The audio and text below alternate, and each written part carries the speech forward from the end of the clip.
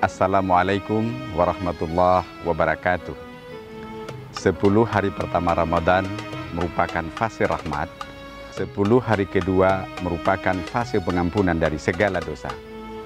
Dan sepuluh hari ketiga fase terbebas dari api neraka. Saya Hejir Sulaiman mengucapkan selamat menunaikan ibadah puasa Ramadan 1440 Hijriah. Assalamualaikum warahmatullahi wabarakatuh.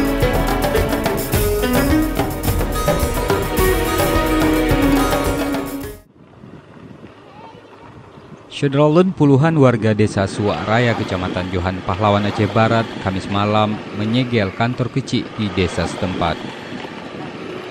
Namun sekitar satu jam kemudian jelang Jumat dini hari, penyegelan terkait protes dana desa kembali dibuka setelah turun tim dari Muspika setempat. Sementara itu pasca penyegelan Syederolun, aktivitas kantor kecil Suak Raya terlihat sepi. Di lain pihak, Polres Aceh Barat mulai mengusut kasus dugaan ketimpangan dana desa di Gampung Suaraya dengan ikut memanggil para pihak. Dari Melabuh, Rizwan, Serambion TV.